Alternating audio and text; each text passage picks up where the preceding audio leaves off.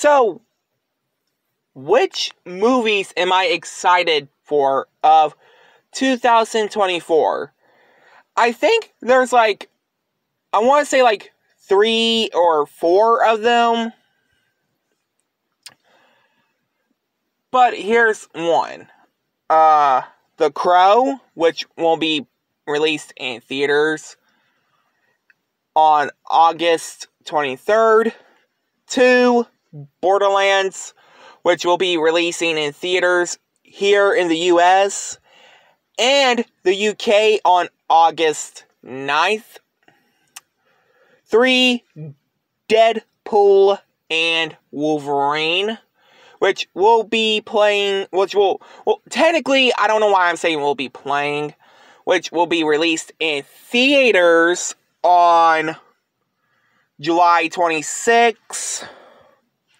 And this one too, which, um, yeah, um, after that Keanu Reeves was announced to voice to play uh, the the voice of Shadow the Hedgehog, Sonic the Hedgehog 3, which will be releasing in theaters on December 20th, just like the same day of Mufasa, the Lion King, will play in theaters. Uh, I'm sorry, will play in theaters. Um, but there are some movies I was excited for, like Kung Fu Panda 4, which was released in theaters like two months ago. Dune Part 2, um, to be honest, I never seen the first movie, but the second movie, eh, I wasn't too crazy about it. Um, but sadly, no DC Comics movies at all.